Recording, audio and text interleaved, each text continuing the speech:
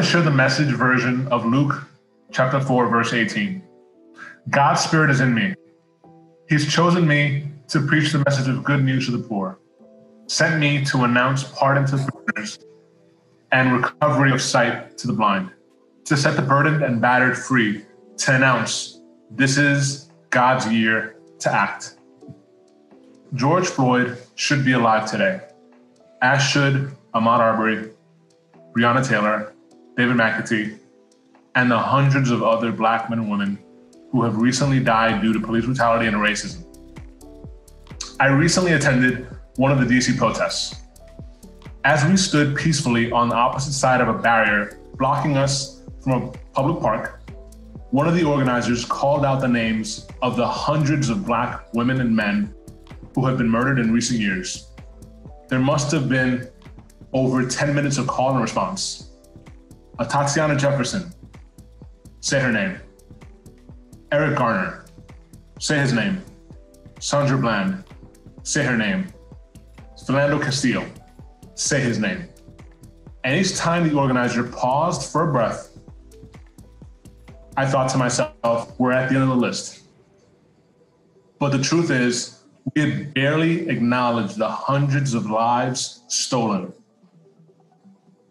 Six years ago, Eric Garner spoke his last words I can't breathe.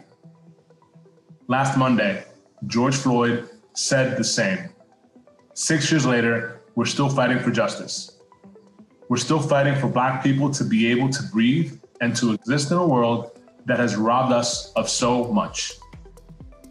We're looking at 400 years of oppression, 400 years of mothers mourning their children's murder, of children wiping their mother's tears, as Philando Castile's girlfriend's daughter did, while also whispering to her mother, I don't want you to get shooted too. She was only four. As a Black Latino Quaker, I live at the intersection of many identities. What we're talking about today isn't just something I'm passionate about, it's my reality. From the comfort of a couch inside of a home, nestled away from fires and pleas for justice, apathetic onlookers warn protesters to remain peaceful and to be strategic. But 400 years of peace and strategy later, we still cannot breathe. Racism feeds systems that keep Black and Brown people oppressed. It's easy to become apathetic to a statement like that. It's easy to say, well, I'm not racist. I have a black partner, friend, colleague. But racism has shapeshifted.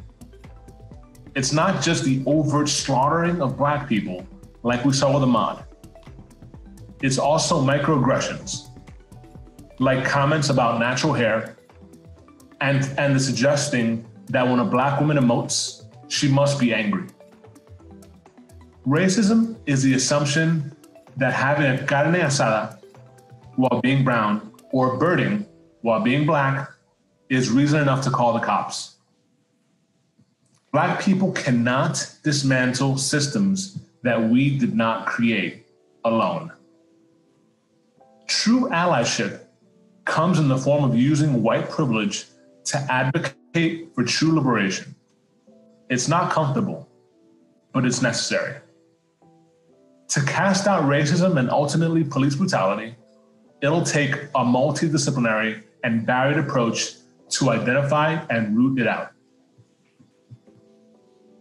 Maybe you're thinking, I've prayed, now what? Or I can't get through to those in my circle who have racist views, now what? Or maybe I can't relate to the protesters, now what? Liberation won't come overnight. But if our allies commit to do the work, a better tomorrow lies ahead. A tomorrow where Black men and women can breathe. I don't have all the answers, but here are a few ideas to get started. It starts off with um, educating yourselves. Listen to Black women. You've heard it said, but now is the time to truly hear what the leaders of this movement have to say. Attend a protest, which I'm sure many of you have Suit up with your mask and stand alongside your black brothers and sisters who have shown up on the front lines for over 10 days now, despite being shot with rubber bullets, tear gas, and threatened by our president. If you're a legal representative, sign up with the Lawyers Guild and provide support in that way. If you're high risk and cannot chance exposure to COVID 19, drop off water and snacks to your local protest rest stop and have a conversation with other white people in your life. That's one of the key ways that we dismantle structural racism in our circles around us because it lives among us and around us. Um, and I started this Thursday with friends with the scripture Luke 4:18. In this scripture, we're reminded that the burden is on us as believers to hold black and brown people in the light, to alleviate poverty for the poor, to advocate for criminal justice and police reform, and most urgently to support the oppressed because all lives can't matter until black ones do.